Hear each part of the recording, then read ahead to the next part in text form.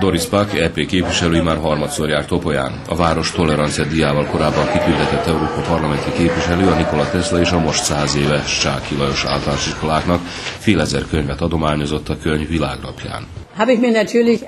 Egykori tanügyesként fontosak számomra a gyermekek és a fiatalok. Amikor az Európai Parlament képviselőként tevékenykedem, akkor azt szorgalmazom, hogy a fiatalokat is támogatni kell azokban a folyamatokban, amelyek során országunk és e térség Európa az Európai Unió felé igyekszik. Doris Pak képviselő asszony meghívásomnak eleget téve ma ellátogatott Topolyára, ellátogatott a Vajdaságba. Úgy érzem, hogy egy igazi európai emberről van szó, egy igazi olyan politikusról és nagy tekintélyű nemzetközileg elismert politikusról van szó, aki az együttérésért, aki az európaiságáért eddig is tett, tesz és tenni fog.